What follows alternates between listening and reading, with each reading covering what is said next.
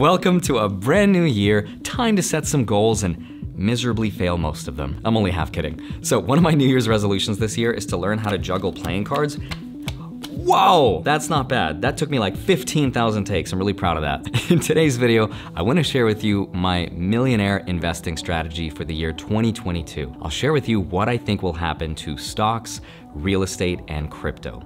Whatever you do, please don't watch this video for financial advice because I will probably end up being wrong, just like I was wrong about thinking Bitcoin would hit $100,000. I really thought it would have last year, but it didn't, so I wanna address some of those failures in today's video. It'll be really fun to reference back to this video and say, wow, he got everything right. He should really sell an investing course. I'm just kidding. I'm not trying to sell you anything. All of the information in this video is completely free. All that I ask is that you smash the like button and please don't skip the ads. Let's get right into it. Hi, my name is Andrei Jikh. Hope you're doing well. Come for the finance and stay for the cool new card tricks. What's up? I'm just kidding. So first, before we get into the market prediction, like a good magician, we have to get inside of the subconsciousness of the economy itself. Now, the real reason this is important is because I just wanted to show you a cool card trick. But other than that, I think it's a really cool technique to understand how investors think. Now, in economics, there's this really cool concept called the Cantillon effect. In the 18th century, a French philosopher named Richard Cantillon published his essay on economic theory, where he noticed something really interesting. He noticed that the closer you were to power, the more you stood to benefit. In other words, if you knew rich people directly, specifically the king, then you made the most money. He also noticed that anytime there was a creation or a distribution of new money, which in that era was the discovery of a gold mine because gold was the monetary standard, that it affected people in a special way and that it was disproportionate. So a really good example is an example from Sahil Bloom, who said, Imagine you're living on a tiny little island, and then all of a sudden at your doorstep shows up a million dollars. Awesome. Most people are gonna take that money and they're going to buy themselves a new house, a new car, some clothing, a fancy watch. You get the idea. Now, you would be able to buy those things at a fair market value because the island has no idea that you just got a million dollars out of nowhere. But even though now that you've distributed that money to the merchants and the people who made those things, even though now everyone has more money on the island, those people's experience is very different than your own. Because now everyone knows that they have more money. And this creates demand. Everyone wants to buy stuff but the supply side of things still hasn't had time to catch up with how much money everyone has. And this means the price of everything has to go up, and that is inflation. So how that translates to modern economic theory is that anytime our government creates more money, like it has since March 2020, where all in we've created something like $13 trillion, it's the people at the top that are the real winners.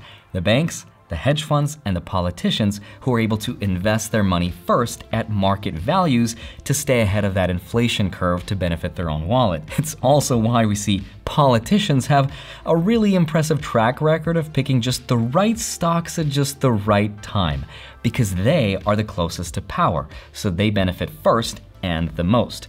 That is the Cantillon effect. And it's also one of the reasons why I think in 2022 we'll still see inflation, because there's a delay between creating money and seeing that reflect in the economy. But it doesn't mean that we can't benefit too. So with all that said, let me share with you what I think will happen to all the assets in 2022. When it comes to the stock market, here's what's really interesting. In order for investors to stay ahead of the inflation curve, they have to look for higher yielding assets.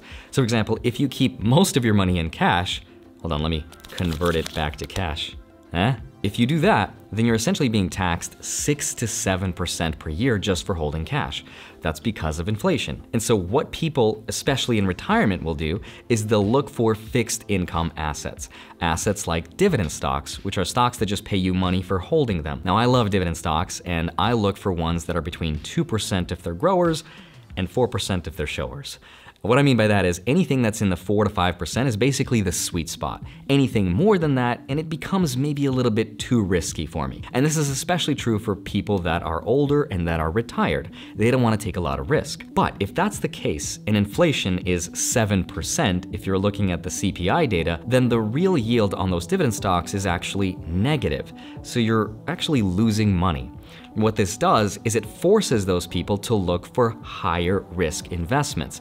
That's why we've had insane valuations in the IPO markets, in SPACs, in the metaverse, in NFTs, bored apes, CryptoPunks. Those are just exploding in value because investors are taking on more risk to stay ahead of that inflation curve. This is especially true for rich people like Kevin O'Leary. Everyone knows who this guy is, and as of right now, his portfolio is about 10% in crypto, which is insane because crypto is a risky, volatile asset. Why is that?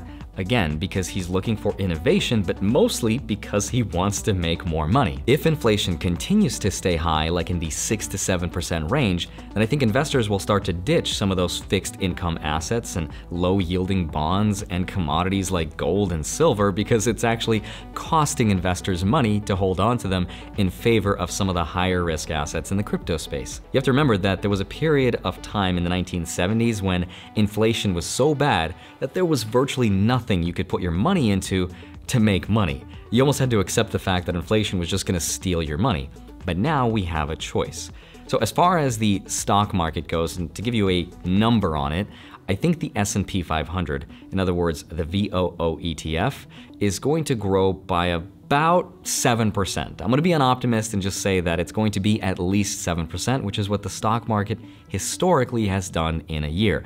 Now, last year this number was closer to 30%, and it could do that again, but I will say that it's probably going to be at least 7% or closer to that number. Now, unfortunately, I can't really pick which stocks are gonna do the best, so I just buy VTI, VOO also works, and the top five holdings in this ETF are stocks like Amazon, Apple, Google, Meta, and Microsoft. And I think tech will do incredibly well next year. But again, because I don't know which stocks specifically in the tech sector, I just buy this one stock and let it ride. So that's the stock market. Now let's talk about everyone else's favorite investment, the one that millennials will probably only own in the metaverse. And that, of course, is real estate. Full disclosure, I'm not a real estate agent, so don't listen to what I think about real estate, but I do have a film theory. The latest data on census.gov shows that in Q4 of last year, the median home sale price was $416,000, up from 369,000 at the beginning of the year. That's an increase of about 12.7%,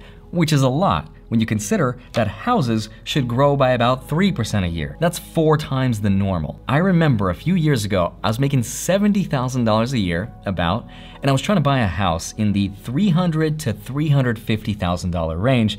And then I remember reminding myself, Andrei, what are you doing shopping for $300,000 homes? You can't afford this. Nowadays, the median household income is $71,000 a year, and homes are selling for $400,000. How long's that gonna last? I don't know. But in October of last year, 83% of properties that closed sold in less than a month. So if you listed your house for sale, it would have just been absorbed in less than 30 days, which is crazy. Again, how long is that going to last? Probably as long as inventory is low and rates are artificially suppressed. Now here's something else that's really interesting that I recently learned. You know how everyone's like, yeah, Papa Powell is gonna increase our interest rates, but he's not actually responsible for those rate increases as much as they are tracked by the yield on a 10-year treasury bond. So here's a way of thinking about it. You're a bank, right? You have lots of money. You want to invest that money, but you don't want to take a huge risk because you don't want to lose customer deposits. But you also want to make a profit because you're a bank. What do you do? you start lending that money out to credit-worthy people. So the question is, what rate would you lend at? And how would you even know? You would know by looking at the safest investment you can make right now, which is by parking your money into treasury bonds, which is basically lending money to the government. Now, right now, the yield on a 10 year treasury bond is 1.43%. So the question is, would you lend your money to people at 1.43%? No, of course you wouldn't, because you can make a guaranteed return on your money right now by giving it to the government. Now instead, you would want to charge people a premium for taking on the risk that those people might not pay you back. So that's why our yield or our interest rate on mortgages will never be below what the yield on a 10 year treasury bond is. I hope that makes sense. I know that's super complicated, but just press the J button on your keyboard to go back 10 seconds. It still probably won't make sense, I'm sorry. Now, as I'm sure you've already heard, Papa Powell wants to increase the interest rates three times. At least that's what 10 of the FOMC members have told us they would try to do this year. In theory, each increase should be about 0.25%. So if we have three of those, that is 0.75%. Now, here's what I learned about today that I didn't know about before whenever you increase the federal fund rate, which is what Papa Powell is trying to do, that does not guarantee an increase to the bond yield. The bond yield might go up and it might not. There's no guarantee because remember, the Federal Reserve doesn't set bond rates. It can only try to adjust them in the form of buying or selling them from the market. In this case, they want to sell bonds because by selling, you drop the price. And because price is inversely correlated to yield, whenever the price drops, the yield goes up, which is why in theory, the mortgage rate should also go up. It gets insanely complicated, that's not the point of this video, but a good way of thinking about it is that for every 1% increase to the bond yield, home prices should technically drop by about 10%. So if we translate that to the actual price of homes, then the home prices should go from the $416,900 they are today down to best case scenario, 10% off of that, which would be about $375,200 or so. Now, short of a total crash, that's about as cheap as I think home prices will go this year, which means I'll be stuck buying homes in the metaverse. Now, here's the catch. Some investors believe that even if the worst happens and we increase the rate by a whopping 1% and the average mortgage interest goes from 3.2 up to 4.2, that that will still be historically a low mortgage rate. And between all the demand from all the millennials and the low housing supply, that even if millennials can't afford to buy the dip, then wealthy hedge funds and other international investors will scoop in to buy the dip. So even if the market drops, it'll still probably be absorbed relatively fast. So as far as my real estate prediction in terms of numbers goes, I think the median home price will go up by 7 to 10%. I think the median home price will go from $416,000 that it's at right now up to $446,000 to $458,000 on the high end. Beyond just the interest rate increase, it all depends on the jobs, the demand, and the wage increase, of course. I really wish it did, but I don't think real estate will slow down much this year. So now let's talk about crypto. Here we go again. I think Bitcoin will hit $100,000 just like I said last time. Don't listen to me, but this year, hopefully we will get the approval of a spot ETF of Bitcoin. We have a futures ETF, but that's kind of lame, and that's not really helping us that much. But this year, I hope that Ethereum will get its own futures ETF, in which case it'll help Ethereum. But as far as Bitcoin goes, regulators like Gary Gensler are still rejecting those ETFs. If they approve it though, mom and dad, grandpa, grandma will be able to own Bitcoin indirectly through their mutual funds, their IRAs and 401ks, and trillions will flow into Bitcoin, in which case, within a few weeks, Bitcoin will hit $100,000, but a lot is riding on the spot ETF. Now, as far as Ethereum goes, which is my second largest holding, a lot of it is riding on the migration to proof of stake, which is not guaranteed to happen. But if it happens, and the rate of creation on Ethereum gets cut by 90%, and it finally becomes a deflationary coin, we could see the price triple to $10,000 per coin which is actually not as impossible as you might think, because remember, Ethereum has historically trailed Bitcoin by about a factor of 10. So if Bitcoin could hit $100,000 when the spot ETF gets approved, it's not impossible for Ethereum to hit one tenth of that, which is $10,000.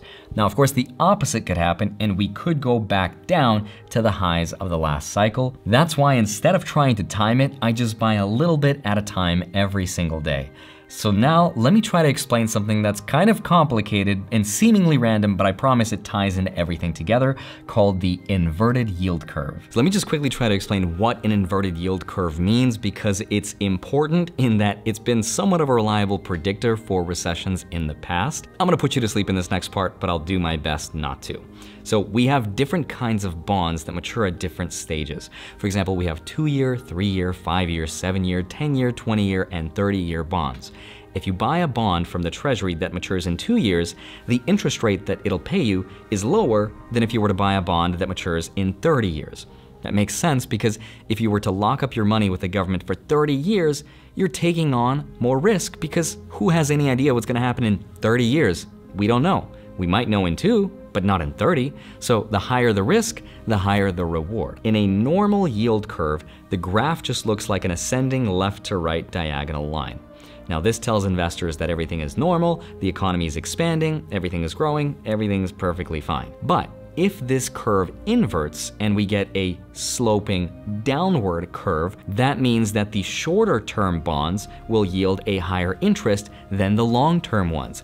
And this can signal to investors that, wait a minute, Things are scary, we have no idea what's going to happen, and so investors start to hold on to their money. The capital velocity slows down, people become pessimistic, and this could signal to investors that a coming recession is going to happen. It's predicted nine of the recessions that have happened since 1955. In the year 2021, the yield curve flattened, and now we're expecting that the recovery is going to be slower and we're expecting inflation to be higher. So investors are pessimistic, which is why that curve is kind of flattened, and some people are worried that if we inflect to the negative downward, so it inverts, that that could signal to investors again that another recession is coming. But one thing I do want to get out of the way is that right now the yield curve is not telling us that there will be a recession, it's just something to pay attention to. As always, thank you so much for watching this video. Don't forget to have a wonderful day, smash that like button, subscribe if you haven't already, go grab up to $250 worth of free Bitcoin with this BlockFi link right here, blockfi.com forward slash Andrei.